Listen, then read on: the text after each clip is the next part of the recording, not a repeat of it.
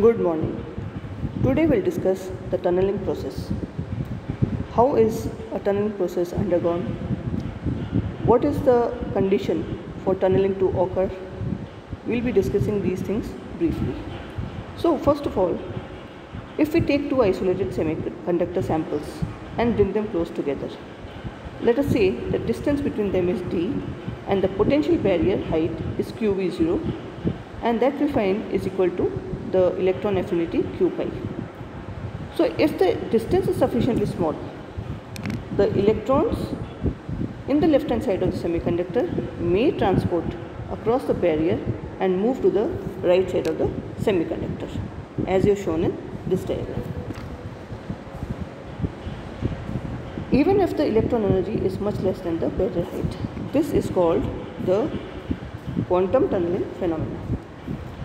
So when we see the quantum tunneling phenomena, as is shown in this diagram, we have some electrons over here. This is the barrier height and they get transported to the left hand side of the semiconductor. This process is called the quantum tunneling phenomena. Here we have drawn the one dimensional potential barrier diagram. If we consider the transmission or tunneling coefficient of a particle through the barrier, the corresponding if we take the classic case, the particle is always reflected if its energy is less than the potential barrier height qv0. We see that in the quantum case, the particle has finite probability to transmit or tunnel through the potential barrier. The behavior of a particle, that is the, if we take the example of a conduction electron, in the region where qvx is equal to 0, we can describe it by the Schrodinger equation. And the Schrodinger equation as you have shown in the equation over here minus h cross square by 2m d square psi by dx square is equal to E psi. We may even use another function instead of psi we may use u, we may use v whichever function suits us.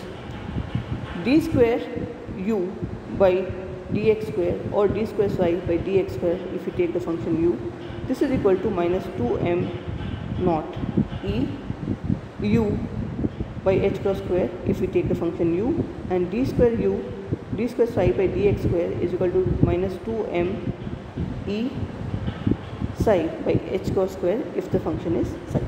Where m0 is effective mass h cross is the reduced Planck constant e is the kinetic energy and psi or u is the particle wave function. The solutions can be given by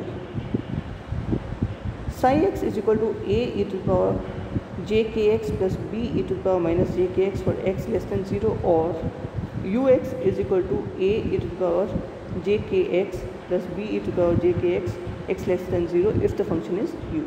And similarly psi x is equal to c e to the power j k x for x greater than or equal to d. And if the function is u, ux is equal to c e to the power jx x is very much or greater than equal to d. Here k is equal to under root 2 me divided by h cross square.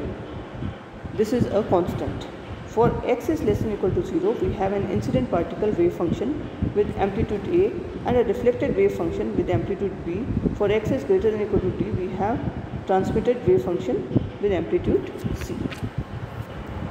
Inside the potential barrier, the wave function is given by minus h cross square by 2m d square psi by dx square plus qv0 psi is equal to e psi or d square psi by dx square is equal to minus 2mn in brackets qv0 minus e bracket close divided by h cross square psi. Here we have taken the wave function as psi and if the equation if the wave function is u then it will be h minus h cross square by 2m n d square u by dx square plus q v0 u is equal to eu or d square u by dx square is equal to minus 2m n in brackets q v0 minus e bracket close by h cross square u. The solution for e less than equal to q v0 is given by psi x is equal to f e to the power beta x plus g e to the power minus beta x or ux is equal to f e to the power beta x plus g e to the power beta x if the wave function is taken as u. Here beta is equal to under root of 2mn in brackets qv0 minus e bracket close divided by h cross square. This is a constant. So if we take the schematic representation of the wave function across the barrier as we have shown earlier over here, then the continuity of the wave function psi or u whatever the case may be and d psi by dx or du by dx at x equal to 0 and x equal to d which is required by the boundary conditions provide four relations between the five coefficients a, b, c, d, e, f and g.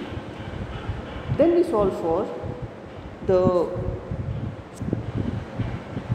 c by a that is the, coefficient the some relation between the coefficients which we have described earlier what is c and what is a. The transmission coefficient is finally obtained after undergoing a lot of mathematics as c by a or e by a whatever we describe it this is equal to in brackets 1 plus in brackets qv0 sine hyperbolic beta d whole square divided by 4e qv0 minus e in brackets to the power of minus 1. The transmission coefficient decreases monotonically as E decreases. When beta d is very much greater than 1, the transmission coefficient becomes quite small and varies as C by A. This is equal to exponential e to power minus 2 beta d. This is equal to exponential in brackets minus 2d under root of 2mn qv0 minus e in bracket close divided by h cross square so to have a finite transmission coefficient, we require a small tunneling distance d and a low potential barrier QV0 and a small effective mass. These will be used for devices known as tunnel diodes. So here we have discussed the condition of transmitting electrons through a barrier. Thank you.